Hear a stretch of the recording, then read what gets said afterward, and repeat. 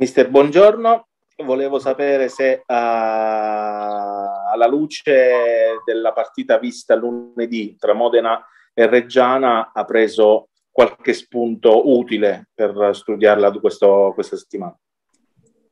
Ma certamente l'abbiamo seguita con grande, con grande attenzione, l'abbiamo vista in diretta e poi l'abbiamo anche rivista durante la settimana come tutte le altre partite che ha svolto il Modena, ma come è nostro consuetudine, come consuetudine di tutti, penso, gli staff tecnici, perché insomma no, cerchiamo di non trascurare nessun tipo di dettaglio di andare a carpire quelli che possono essere pregi e difetti di una squadra e, per provare poi a creare quelle situazioni che ci possano far raggiungere un risultato positivo. Eh, mister, buongiorno. Buongiorno. Eh, allora, domani affrontate mh, la terza squadra consecutiva di fila, diciamo, tra le squadre che eh, ambiscono al salto di categoria. Eh, tu che tipo di analogie trovi rispetto alla Virtus Entella e al Siena, anche come tipo di gara che il Teramo dovrà fare? No, sono avversari costruiti diversamente. Chiaramente ognuna di queste tre squadre ha, ha dei grandissimi valori, la squadra che affronteremo domani, il Modena, è una squadra di grandissima esperienza, di grande struttura, di fisicità, di grande qualità tecnica, allenata da un allenatore vincente, di, di grande esperienza. Quindi insomma ehm, è, è, un, è, una partita come le altre due ad alto coefficiente di difficoltà che sapevamo all'uscita del calendario il nostro inizio fosse, fosse così complicato. Detto questo, io mi aspetto ehm, che i, i, ragazzi riescano a mettere in campo quella che è la nostra mentalità, quella che è la nostra identità, che ci deve contraddistinguere contro chiunque. Noi dobbiamo avere rispetto e preparare la partita al massimo contro chiunque, qualsiasi sia il nome e, le, e la difficoltà della gara, eh, ma, ma in campo noi vogliamo essere propositivi cercando di di, essere, di fare un calcio in cui i calciatori si riconoscano protagonisti cercando di voler, voler la palla e cercare di andare a, così facendo a mettere in difficoltà qualsiasi, qualsiasi avversario. È una partita difficile, una partita che loro hanno esperienza nel reparto arretrato con Pergref, ingegneri, eh, se ci sarà Silvestri, hanno grandissima qualità in mezzo al campo, unita a tanta fisicità, mi riferisco a Gerli, Armellino, Scarzella, ma lo stesso di Paola che ho avuto anche in nazionale under 20 e poi la tantissima qualità che dispone nel reparto avanzato con Tremolada, Minesso, Mosti, Marotta, Ogunseie che abbinano tecnica, uno contro uno, attacco agli spazi, capacità fisica e, e, e, e abilità nel gioco aereo, insomma è una squadra in cui dobbiamo stare iper attenti in ogni situazione di gioco perché sono pericolosissimi, però è altrettanto vero che noi vogliamo giocarcela in maniera coraggiosa, cercando di emozionare la nostra gente senza precluderci di poter fare un risultato positivo. Eh, buongiorno, buongiorno mister. Eh, dunque, volevo chiederle eh, le sue sensazioni eh, per questa trasferta che è inutile nasconderlo, è insomma complicata. Sarà un Teramo propositivo? Sì, no, ma questa è la nostra mentalità, l'ho detto in precedenza, cioè noi non vogliamo snaturarci, anche perché penso che nel momento in cui snaturi quello che vuoi essere, difficilmente puoi eh, essere propositivo o, oppure esprimere al massimo le, le tue abilità. Eh, noi dobbiamo essere coraggiosi, consapevoli di tutte le difficoltà che troveremo di fronte a noi, ma sono altrettanto convinto che se riusciamo a superare le difficoltà diventiamo in primis dei giocatori migliori e poi una squadra, una squadra migliore. Noi siamo una squadra giovane e chiaramente eh, commetteremo delle sbavature perché è fisiologico che sia così, però il nostro percorso iniziato un mesetto fa ci impone di continuare a, a, a, cavalcare quella che è la nostra, la nostra idea di gioco, anche perché è così che si stanno allenando i ragazzi. Quindi nel momento in cui non riusciremo a essere propositivi, io penso che noi a, è più facile perdere le partite piuttosto che sperare in un risultato positivo.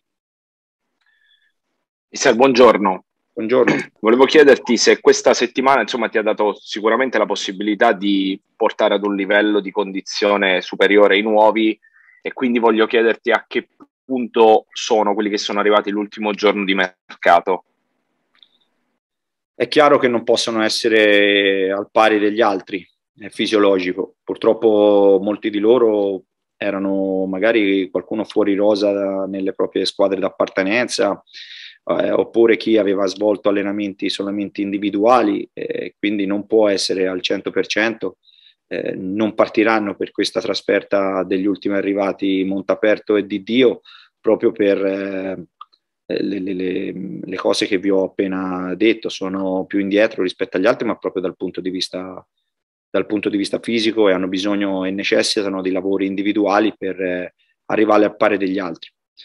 È chiaro che in questo momento della stagione, specialmente con il mercato chiuso da poco, che non ci sia una condizione omogenea per tutti i protagonisti del gruppo, ma è così per tutti quanti. Eh, dobbiamo avere un po' di pazienza e io penso che servirà alle prime 4, 5, 6 gare di campionato dove poi allora avremo una omogeneità di condizione per tutti quanti. Mister, normalmente nel calcio si dice che le grandi è meglio affrontarle subito, quindi io non so se questo sia stato un limite per il Teramo o, o meno.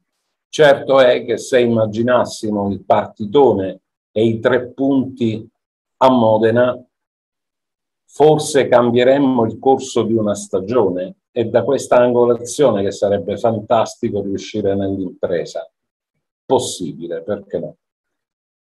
No, ma nel calcio impossibile, non esiste, non c'è niente di impossibile. Chiaramente noi eh, dobbiamo, come ho detto prima, dobbiamo avere il coraggio di provarci, anche perché se no vivremo di rimpianti, di, di, di poter fare qualcosa e, e, di non aver provato a farla. Non, noi questa cosa qua non dobbiamo nemmeno pensarla minimamente e soprattutto non dobbiamo speculare sugli avversari e non dobbiamo scommettere nella dea bendata, noi dobbiamo giocare la partita e cercare di determinarla con quelle che sono le nostre caratteristiche, le nostre, le nostre idee, perché la squadra si allena per fare certi tipi di, di cose. Ehm, noi ci vogliamo provare e questo tutte le domeniche sarà così. Me mai mi sentirete dire mi accontento di un pareggio. Partiamo 0-0 e cerchiamo di preparare la partita al massimo per provare a fare il massimo dei punti, non per speculare su qualcosa. È chiaro che è difficilissimo, eh, però a me piace sempre provarci e chissà poi che al novantesimo, eh, magari con una, una, una, prestazione come quelle che abbiamo fatto a Chiavari, come abbiamo fatto in casa col Siena, magari il risultato può essere anche a nostro favore, perché i numeri, eh, noi siamo soliti studiare anche i numeri delle partite, non possiamo dare un giudizio sul risultato finale, perché il risultato poi può dipendere da mille cose, da un errore banale sotto porta, da un palo che entra invece o un palo che va fuori, oppure da un fallo fischiato oppure no. E noi le due, i dati statistici inconfutabili sono che nelle, sia a Chiavari e sia a Siena Abbiamo dominato il possesso palla con entrambe e siamo una delle prime di tutte le 60 gironi C per possesso palla. Abbiamo tirato più in porta degli avversari e abbiamo creato più occasioni da gol sia dell'Entella che del Siena. E sul campo, per expected goal, eh, meritavamo di vincere entrambe le partite. Quindi noi dobbiamo perseverare su questa strada. Questo ce lo impone anche i numeri de, statistici di ogni, di ogni gara. Quindi le sensazioni che abbiamo avuto erano positive, ma sono poi state confortate anche dai dati che sono inconfutabili.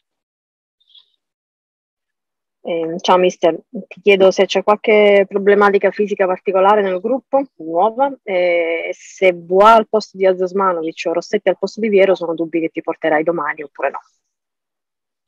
Sì, ma abbiamo provato diverse, diverse, situazioni. Per quanto riguarda fisicamente stanno bene tutti, Chiara Mateng che era quello che mh, mm, insomma sapevate che aveva subito quel trauma sul collo del piede che ancora gli dava fastidio, abbiamo provato anche a forzarlo nella partita col Siena ma poi non, non aveva sensazioni buone quindi non abbiamo rischiato eh, durante la partita però sarà, sarà nel gruppo anche se aveva, ha lavorato per gran parte della, della, settimana in maniera individuale proprio per non rischiare di alcun tipo di ricadute.